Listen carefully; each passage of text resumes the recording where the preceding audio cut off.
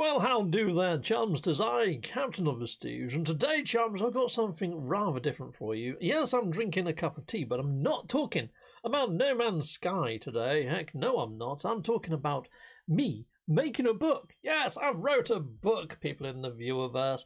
It's, a, it's an ebook. It's an ebook, but you can, you can go downloadicate it and all sorts of stuff. Anyway, I'll be hitting up my reaction camera. Let's see if I can bring that one up. It's a PC share. Here we go. Pow! There I am. Hoofer on my PC. Now, this is Photoshop, and this is the front cover. It's called Un- Unlocking Reality Exploring the Simulation Theory by Moi. Yeah, that's, that's, that's my real name there, people. Anyways, let's go on over to the Tinterwebs and I'll show you how I wrote this book. Right, so I jumped over to GPT, Chat GPT, and I said, I've got a bit of a project for you. My spelling isn't all that great or grammar. However, I've got an idea and I want to be able to create a book that hopefully can unify religions and all that sort of shenanigans. And uh, Chat GPT said, Yeah, go on then um, what's your idea? So I said, well, simulation theory. So simulation theory basically is an idea that we're all living inside a simulated universe. Now, if we are living inside of a simulated universe, then there must be somebody or something that created that simulation. So there's like an architect, a grand architect of things. So I figured, well, technically, if that's the case, then every single religion out there would be sort of adhering to the same God in principle in a roundabout way. Anyway, so I wanted to try and make a book that was sort of scientific but based on theory that also ties in spiritual elements to sort of amalgamate everything into one. And I know what? I think I may have just gone and fricking done it. Heck yes. So yes, ChatGPT first sounded off with all these ideas and how I could do all this sort of stuff. And I said, mm, that's lovely, but I want to make it a little bit more similar, you know, and uh, or, or simpler for people to grasp and to sort of say, actually, I'm going to jump in with both feet. I didn't want to throw a load of science at them, then us, and and completely blow their minds. And because it's a sort of to wrap in some ideas of the spiritual and concepts from religion, I had to go about it in a very careful way. And again, uh, ChatGPT went a little bit mental, so I just went, wound it in and I tried to give it the idea of what I was trying to go for. So I was thinking chapters. I like to break things down into chapters because I'm not all that great at reading people. Got a bit of a dyslexic head.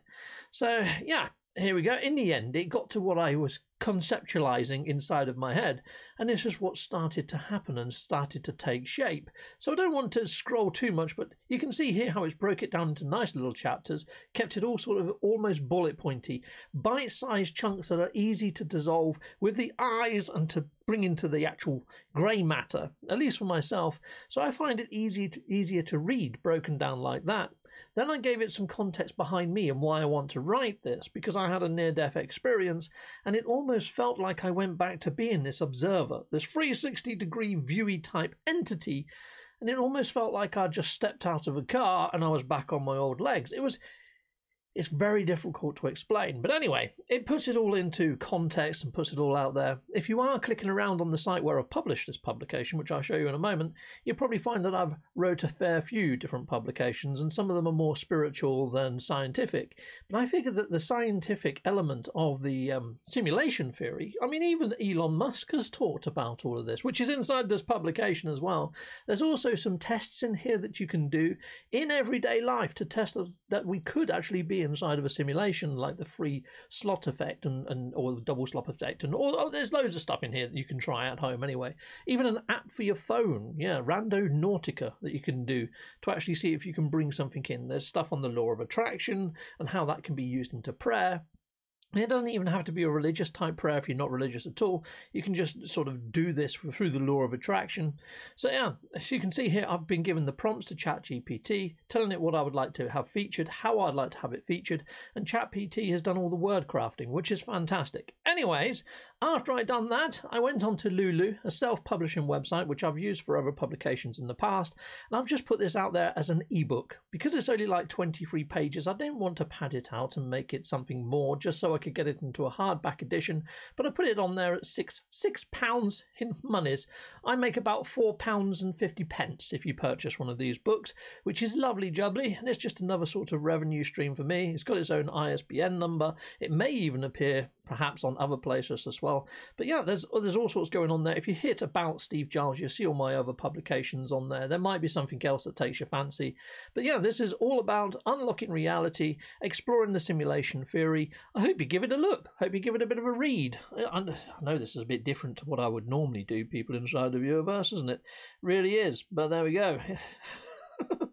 what can I say? Uh, I'm just I like doing things that are a little bit creative, and this whole Chat GPT and AI type stuff, I'm quite into, to be honest. I know people say it's going to destroy the world and end civilization as we know it, but for now, it's relatively harmless. Um, yeah, uh, hopefully that doesn't happen, people. But there we go. Uh, yeah. Anyway, they said similar about the internet, didn't they? And that that didn't it's um, revolutionised the way we live. So who knows? Maybe maybe the AI isn't anything to worry about. But anyway, I've used it to help me with this publication.